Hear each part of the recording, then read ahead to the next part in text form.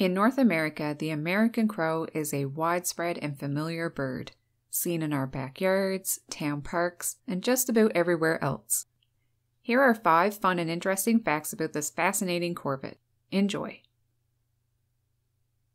It may be surprising to learn that crows, and indeed all other members of the corvid family, are songbirds. Yeah, their calls may be no match for a singer like the hermit thrush, with its ethereal song, but being a songbird doesn't mean a bird has to be an impressive singer. All birds have what's called a syrinx, a highly specialized vocal organ. However, for songbirds, they are the only ones to have superior mastery of theirs.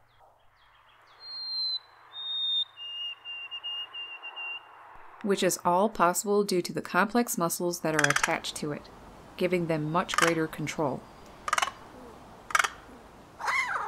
Crows can produce a whole range of different sounds. Some are even melodious. Crows know what they know and can analyze the contents of their mind.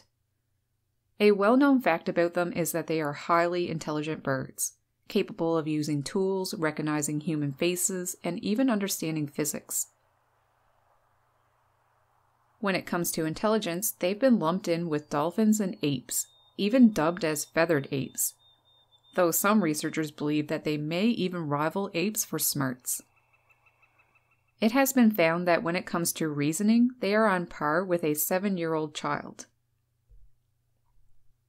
Although birds have small brains, compared with other species, crows have unusually big brains and are equal to primates in brain to body proportion. A remarkable fact is that crows' brains have 1.5 billion neurons, as many as some monkey species, all crammed in there. A whole lot is working in their favor, allowing them the gift of intelligence.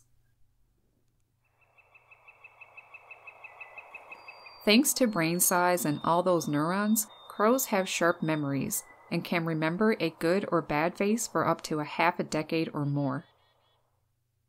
This great trait of theirs allows them to memorize the route of a garbage truck, and specific colors of food containers for at least a year.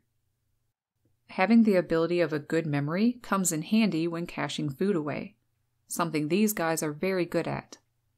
A crow may move food items to other locations two or three times, all the while remembering where it was hidden.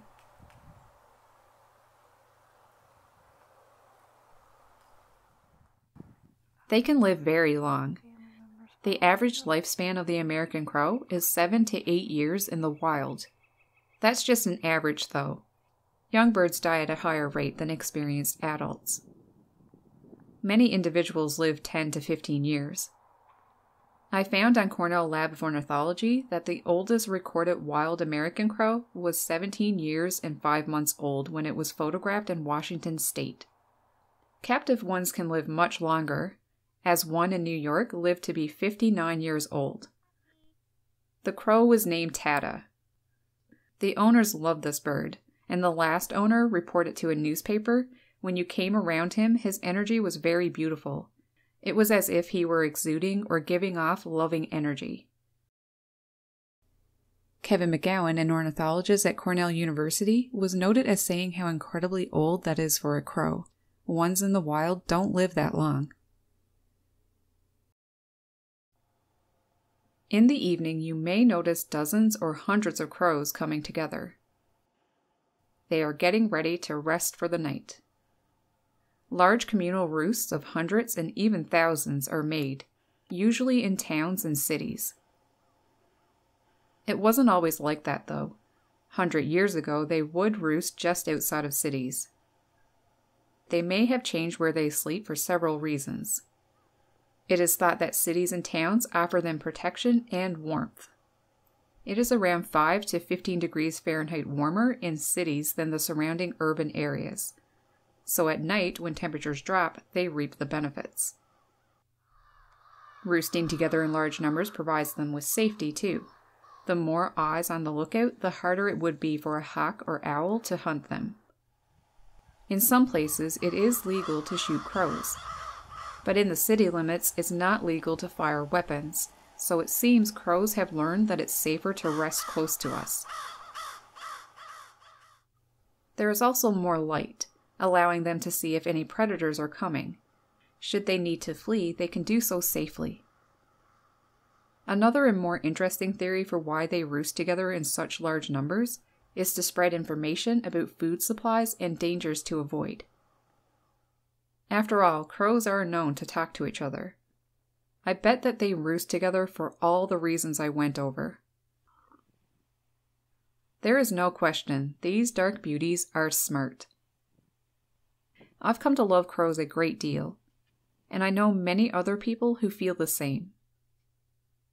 The crow may not be an exotic bird of the Amazon, but this common character always catches my gaze. And I believe they are one of the most fascinating birds on our planet. What do you think? Comment below and let me know the things you've seen or a story you'd like to share. And as always, thanks a bunch for watching. I hope you enjoyed these five fun facts about this big brain corvid.